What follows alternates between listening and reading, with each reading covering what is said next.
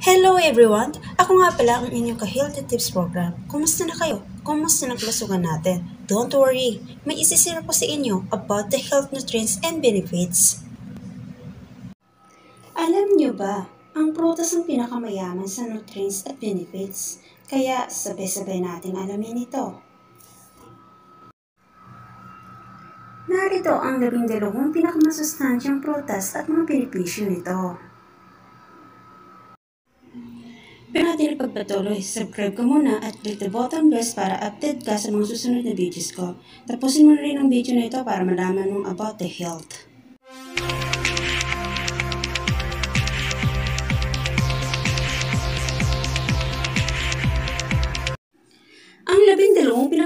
Pinakamasustansyang prutas at mga benepisyo nito. Ang prutas ay importanteng bahagi ng diet. Ang totoo, ang pagkakaroon ng mataas na diet pagdating sa mga prutas ay iniuugnay sa lahat ng benepisyo at kalusugan, kasama ng impact sa health upang maiwasan na magkasakit ang isang tao. Ang concern lamang ng mga sugar content ng mga prutas na nag-aalala na pagkamasusobra ng masamang epekto sa kalusugan. Isa ba ang pwedeng kainin sa isang araw para maging healthy? Posible ba ang pagkain ng marami maraming prutas, lalo na kung seasonal lang ang paboritong prutas. Narito ang mga masustansyang prutas sa Pilipinas at mga benepisyo nito. Ang una ay ubas o grapes. Ang ubas ay may tanis at flavonoids na pwedeng makapigil sa cancer. Kumain ng ubas kung ikay nagpapagaling sa sakit at kapag kulang sa dugo at mahina ang katawan. Kumain ng ubas para manumbalik ang iyong sigla. Ang pangalawa ay pakwan. Panlaban ng mga ito sa sakit sa bato at pantog, kidney at bladder infection. Ang pakwan at melon ay punong-puno ng vitamin C at potassium at kapag tag-init, ang katas nito ang kailangan ng ating katawan.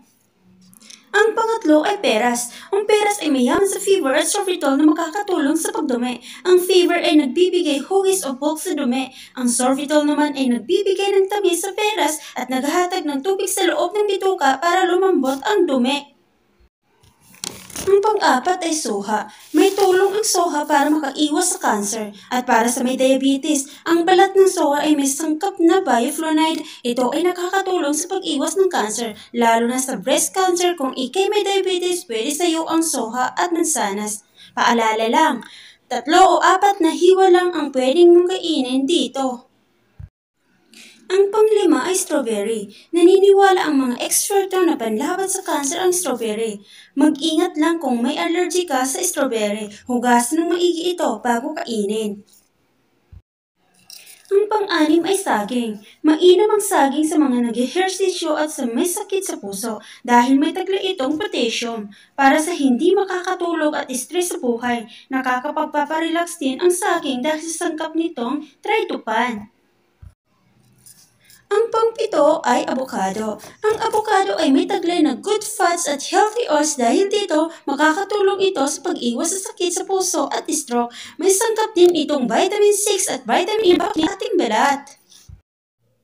Ang pangwalo ay papaya. Mataas sa vitamin A at vitamin C ang papaya, kaya nakakatulong ito sa ating putis. Ang papaya ay may papen, isang chemical na tumutulong sa pagtunaw ng pagkain at pagregular ng ating pagdumi calcium ay pineapple o pinya. Ang pineapple ay may flavonoid na nagpapalakas ng ating resistensya. May sangkap din itong mangasin at vitamin B na nagbibigay lakas sa ating katawan. Ang pagsampo ay buko. Ang buko juice ay nakakatulong sa may kidney stone o bato sa bato. Ang panglabing isa ay apple o mansanas. May vitamin C at antioxidant ang mansanas. Mahalaga kainin din ang balat ng mansanas dahil may taglay itong pectin na nagtatanggal ng dumi sa ating katawan. Panlaban ng mansanas sa mataas na kolesterol, arthritis at sakit sa tiyan.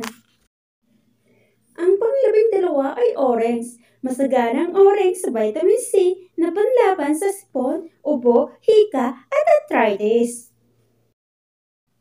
Salamat at dahil sinamahan niyo ako sa araw na ito para tuklasin kung anong mga masustansyang pagkain. Hanggang sa muli!